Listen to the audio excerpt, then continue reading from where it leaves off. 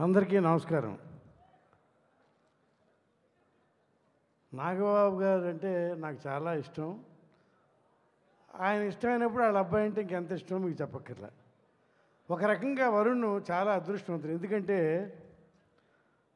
పట్టుదల క్రమశిక్షణ ఉన్న చిరంజీవి గారు అతనికి పెదనాన్న. చిరునవ్వేరా సంపద అనే నాగబాబు ఆయనకి నాన్న. ధైర్యం సాహసం ఉండ పవన్ కళ్యాణ్.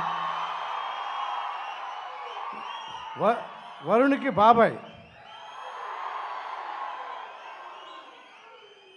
సో అంత అద్భుతమైన పెదనాన్న అద్భుతమైన నాన్న బాబాయ్. అదృష్టవంతుడు కాకుండా ఎలా ఉంటాడు? సరే అది ఫ్యామిలీ వరకు అండి కానీ మొదటి సినిమానే స్టార్ ప్రొడ్యూసర్లు. ఠాగూర్ మధు మా బుజ్జి. వాళ్ళు అత్యద్భుతమైన సినిమాలు తీసి రికార్డులు సృష్టించిన ప్రొడ్యూసర్లు. వాళ్ళు నిర్మాతలుగా అతను ముందుకు వచ్చారంటే ఎంత అదృష్టవంతుడు? తర్వాత అడ్డాల శ్రీకాంత్.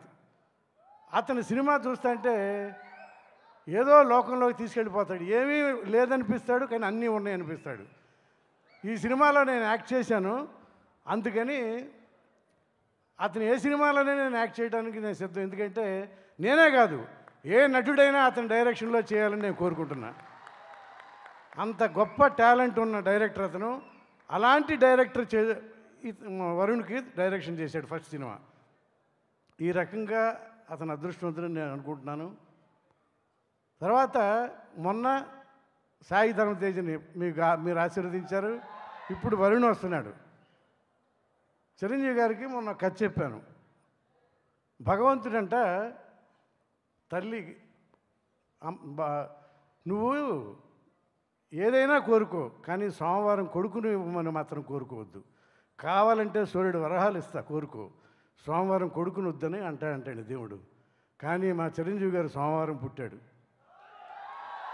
ఎందుకంటే సోమవారం పుట్టిన కొడుకు అంటండి ఆ ఫ్యామిలీని ఎన్ని కష్టాలు వచ్చినా సరే పైకి తీసుకొస్తా అంట. ఎంతమందినైనా సరే. సో దేవుడు ఎందుకు వద్దంటాడంటే ఈ ఫ్యామిలీ మెంబర్స్కి నేను కష్టాలు పెడతా కదా ఈ కష్టాలన్నీ ఇతనే భరించేసి వాళ్ళందరినీ పైకి తీసుకొస్తాడు అందుకని వద్దనుకుంటా అంట దేవుడు. అలాంటి సోమవారం నాడు పుట్టిన చిరంజీవి గారు మరి ఆ తల్లిదండ్రులు కూడా శివశంకర ప్రసాద్ అనే పేరు పెట్టారు అప్పుడు. తెలియకుండా సోమవారం అంటే శివుడు.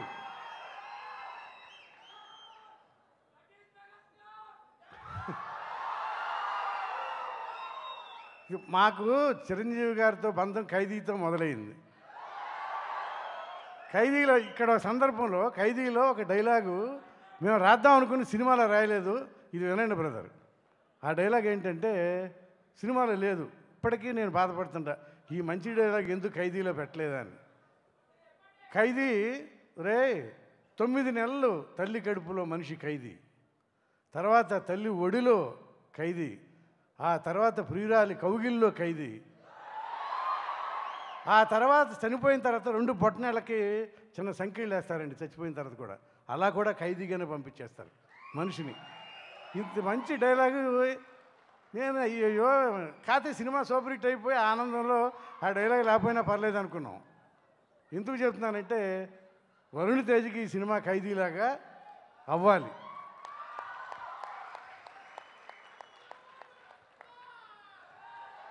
ఈ సినిమా హిట్ అయిన తర్వాత ఏంటి అంటే తండ్రికి ఇచ్చే కానుక ఏంటంటే ఆ తండ్రి దగ్గర ఉన్న చిరునవ్వుని శాశ్వతం చేస్తాడు ఇక.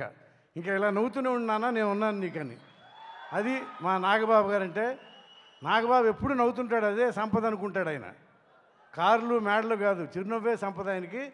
ఆ చిరునవ్వుతోనే ఈ వరుణ్ ఆయన ఉంచుతాడు జీవితాంతం. అత్యద్భుతమైన సినిమాలు చేస్తాడు వరుణ్. ఎలా ఉన్నాడో చూశారు కదా? ఇంకా అందుకని అతను అందరు ఆశీర్వదించండి. ఈ ప్రొడ్యూసర్లు మా ఫ్రెండ్స్ అలాగే డైరెక్టర్ మా ఈ చాలా నచ్చాడు నాకు. ఈ సినిమా సూపర్ హిట్ అవ్వాలని మనసారా కోరుకుంటున్నాను. I bless you Varun. Thank you